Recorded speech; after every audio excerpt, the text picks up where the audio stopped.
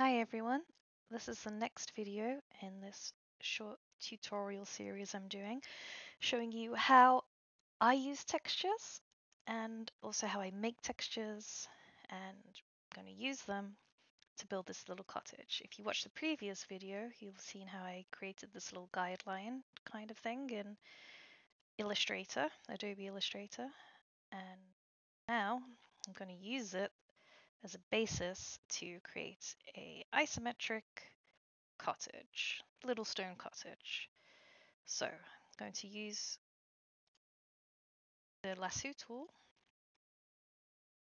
polygon lasso tool here because it's straight edges and I'll fix up the edges once I get in. So this just has to be rough.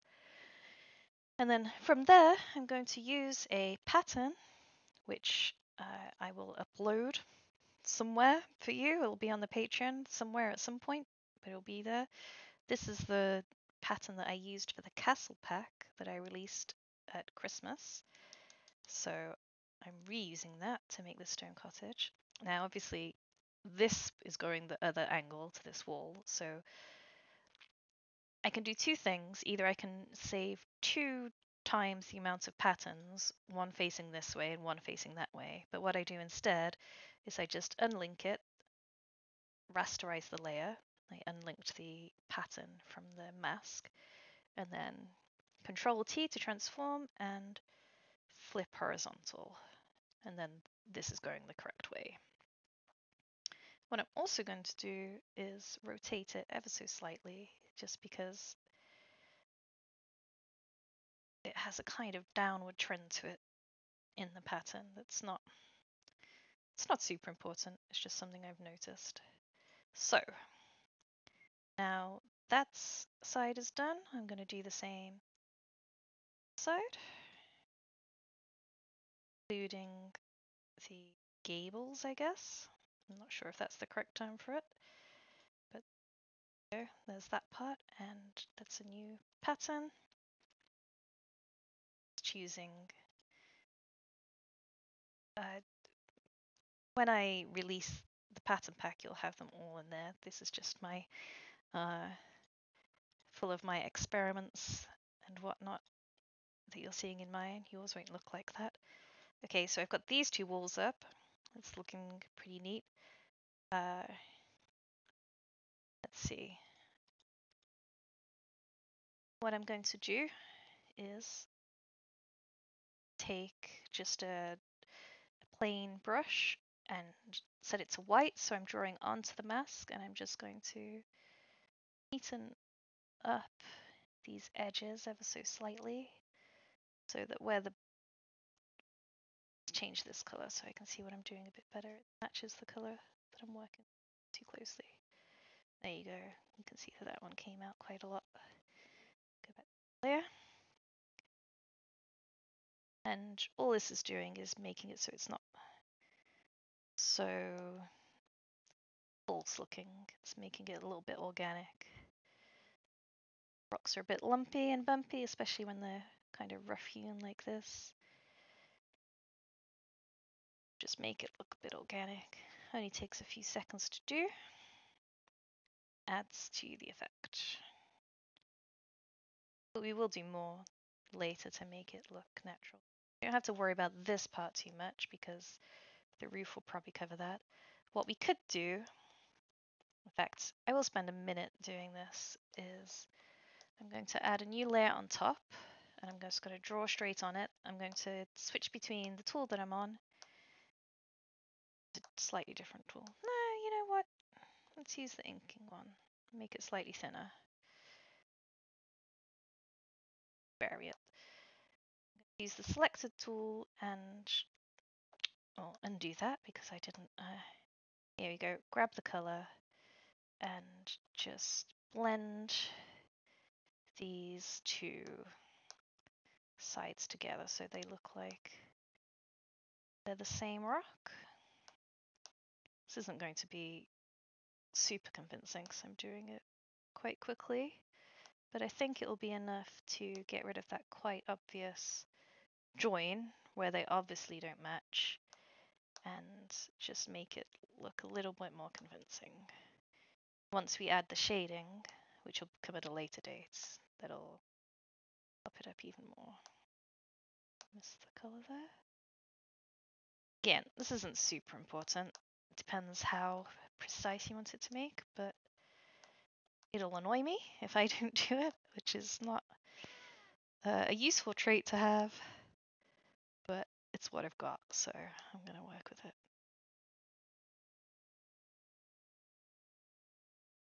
Go, take some of the mortar. This point is a bit too pointy, round it off, bring some of that warmer color into the rock here so it looks like it could be the same. This one's a mess, so I think I'm going to make it look like this one here. Pick up a new color.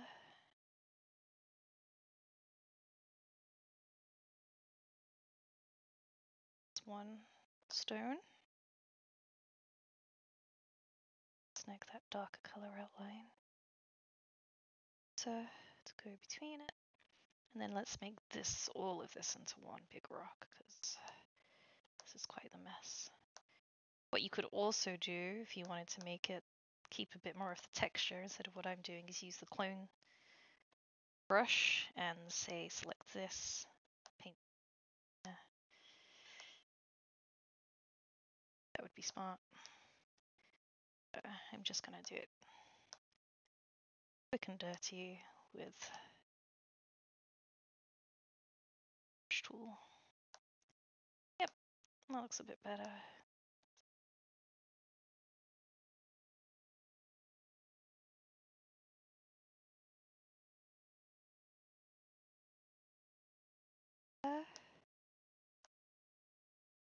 This wasn't what I had planned to be showing you, but this is how I work, so it's it's more realistic to show you how I just uh, switch and change from one job to the next with no particular order, just doing what grabs my fancy as it goes. Now this looks a bit awkward, so I'm going to, let's see, get like this one and make this one a little bit bigger. Okay, and I'm just going to keep keep working on this. It's not freezing up anymore.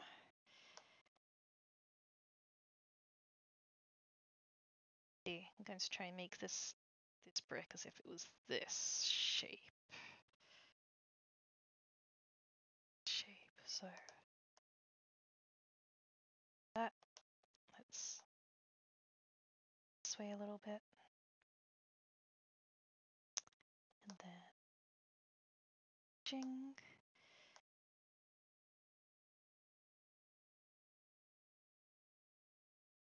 Let's make this one. Let's make this seem as if it's one whole stone as well.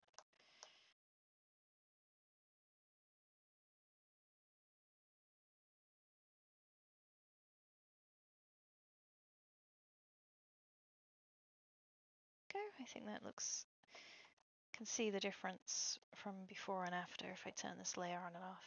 Could definitely see the edge there. We've kind of knitted up the seam. I think what I'll do, I'll just quickly use the healing tool brush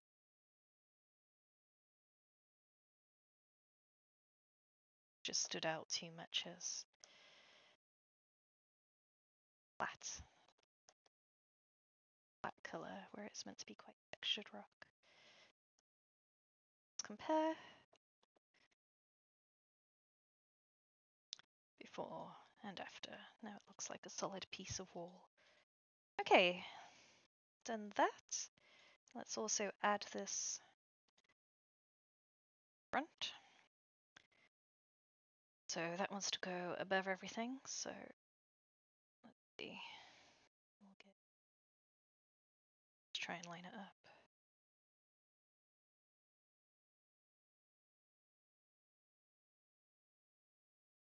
Shape out this way.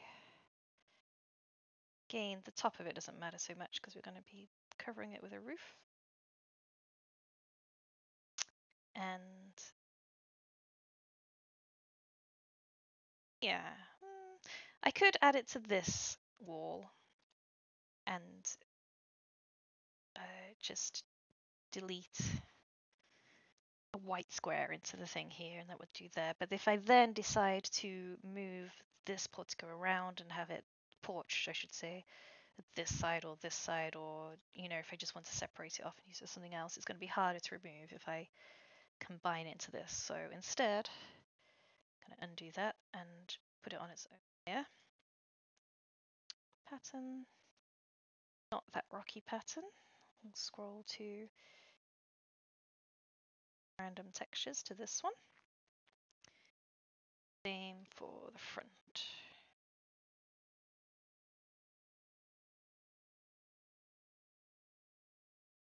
And I want to remember that it would go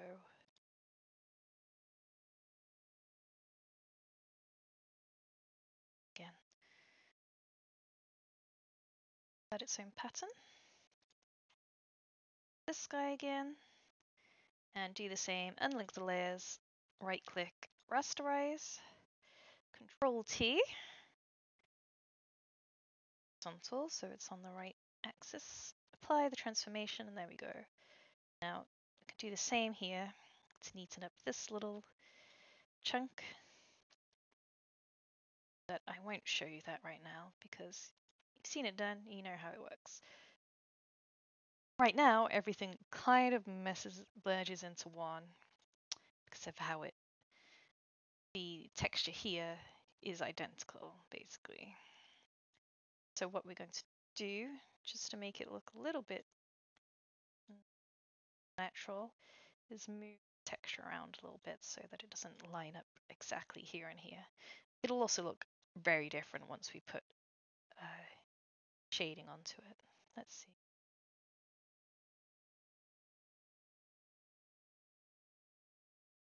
That it's going to line up with those, that corner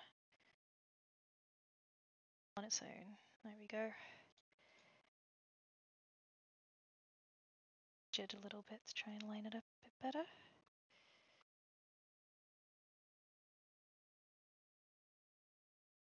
Yeah, there we go. Some of it looks a bit weird here, but I can just neaten that up when I come to do a little bit of work on it. And maybe once the door is on it, it won't notice so much. Now I'm going to do one extra bit, which is this chimney. So I need to turn on this wall and do the same thing all over again. What I'm going to do is group that, and that's the porch. A new group, and this will be the chimney. So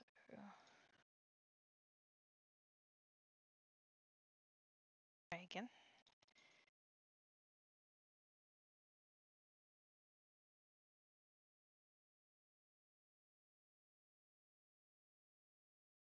Super accurate down here. Eh, but it's close enough. So again, pattern, this pattern, okay, and link, rasterize. I could make this into an action. In fact, let's do that. I don't think I've shown you actions yet. So let's see. From here, we, this is where we just put the new pattern in, but it's the wrong way around. So this is all my useful actions. Let's make a new one. Flip pattern. Board. So what we want to do is unlink the layer, right click, rasterize layer, transform, right click, flip horizontal, apply, and finish. Okay, so now I have a flip pattern action. So just click this. So I have the selection again, delete it and pretend that click, click, click, click. I just made that. I want to make the pattern. Choose this. Go to my pattern. Okay. It's the wrong way around. So let's go to my action list. Play the action we just made. Having a think about it, and there we go. Now we don't have to do all the complicated stuff. Maybe I'll add that action to the pack with the rest of the patterns that I'm going to release for you. Okay, now I just need to do this one last side.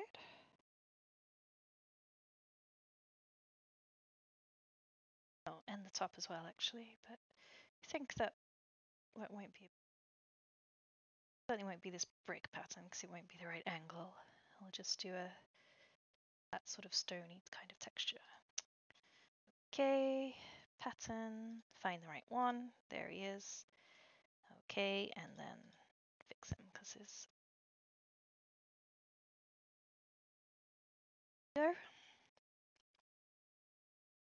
I think what I'll do is do the same thing again where I take the so it lines up this way. It does look slightly weird because you know kind of symmetrical where it shouldn't be, but it will make it easier if I do decide to go down the edges and match them up. makes the repeats a bit more obvious too. So I'm not a huge fan, but it's a good quick quick solution that might get covered up as we go along. Okay, I'm going to do some little touches again, like this edge. The auto select layer on, so when I clicked it, it selected that one. Let's take my inking brush. I think I had that anyway, but just to check. Then, let's see. Painting white onto the mask, which makes these layers, uh, not the layers, the stones jut out like they would. It'd be quite subtle, especially when it's small, but if we ever zoom in on it or do anything close up, I like having it look right. So, the point being that all of this is quite unnecessary, but I like doing it, but you definitely don't have to. Don't think it will show. Also going to do it here. And I think what I might do here right, I need to select the mask. Again, when I add the shading, this overlap won't show up quite as strongly. I should fix this.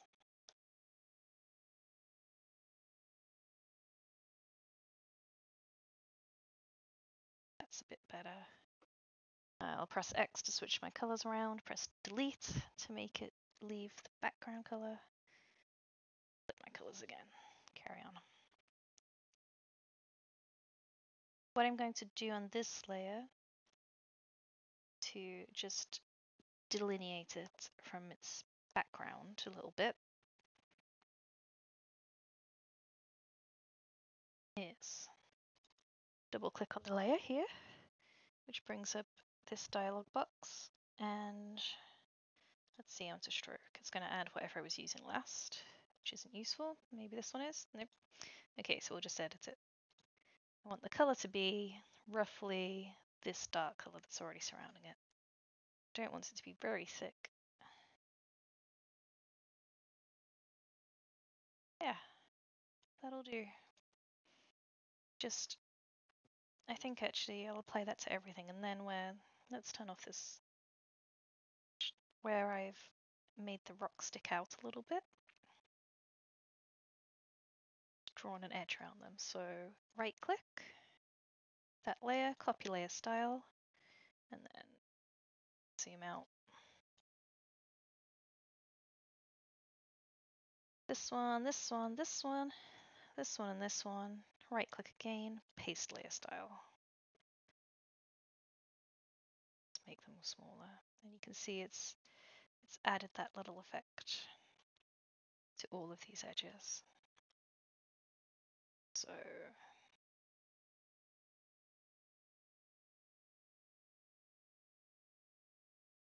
off and turn it on. Just outlines it a little bit, makes it look. Oh, what I forgot to do was move this layer, which I think I'll do now. So I'm going to unlink it, both of them at the same time. just so it doesn't match up with this. Well, that didn't work right. Time instead then. I was thinking they would line up, but that doesn't make sense because they have to, if I move this one this way, then I have to this way? Yeah.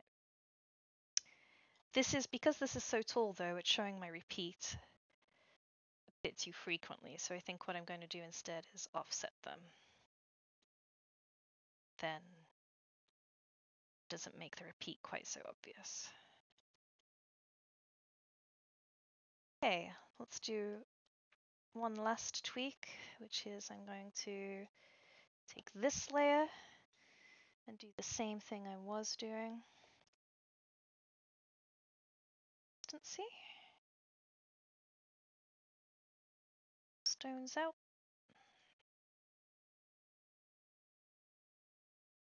And then once I've done that, I'm going to create a thatch texture, which I think I'll do in a separate video so that if that's what you want to learn, you can learn it. If you're not interested, you can just do the ones I've made for you. I think making textures is fun, so take a look at some point. Just throwing your paint around, basically. Okay, almost there. Okay, so this is the bare bones our cottage. Uh, I have in here doors in the window. Let's see, which one's the back window?